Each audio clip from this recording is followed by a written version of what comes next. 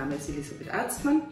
Äh, ich bin eigentlich Tirolerin, bin 1964 geboren in Innsbruck und aufgewachsen in Jenbach.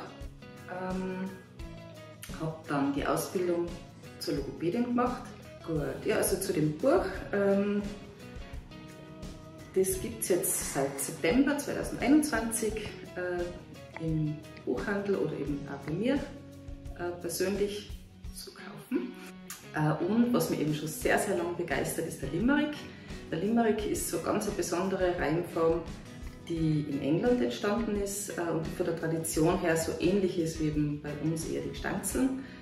Äh, und das Besondere am Limerick ist, dass, er, dass sich eben die Zeilen 1, 2 und 5 reimen und die Zeilen 3 und 4. Und der Limerick hat so ganz einen eigenen Rhythmus, das ist so ein bisschen wie ein, wie ein Walzer-Takt, also ein Dreivierteltakt. Ähm, und vor einigen Jahren im Urlaub habe ich mir dann gedacht, eigentlich wäre das total nett, einmal eine Kindergeschichte in Limerick-Form zu schreiben. Ähm, ja, und dann habe ich diese Geschichte eigentlich relativ schnell geschrieben und die ist dann eigentlich vier Jahre irgendwo mit umgelegen. Und dann habe ich irgendwann einmal heuer im Winter und gedacht, ja, das war eigentlich ganz nett als Kinderbuch. Und dann habe ich das eben an den Herrenhof Verlag in Oberösterreich geschickt und die Verlegerin hat eigentlich, war eigentlich gleich ganz begeistert.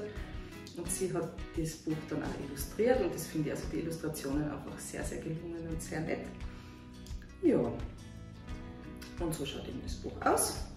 Und ich werde jetzt einmal nur vielleicht zwei so Strophen vorlesen. Das eine steht hinten drauf und fasst die ganze Geschichte ein bisschen zusammen von der Tilda, von diesem Hund. Und das geht so.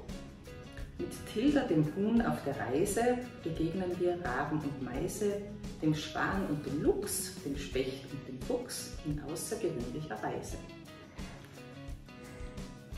Die erste Strophe ist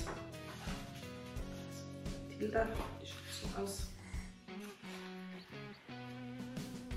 Ganz plötzlich denkt Tilda das Huhn, ich will nicht den ganzen Tag ruhen, das wird mir zu dumm, ich flatter mal rum, will wissen, was andere so tun.